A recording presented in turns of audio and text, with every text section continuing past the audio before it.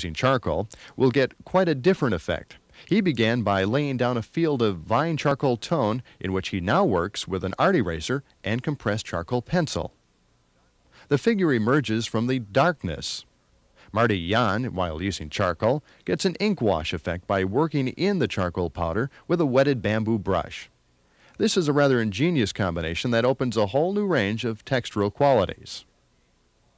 Working with tinted papers allows for use of both dark and light chalks, which tends to heighten the impact of highlighted areas.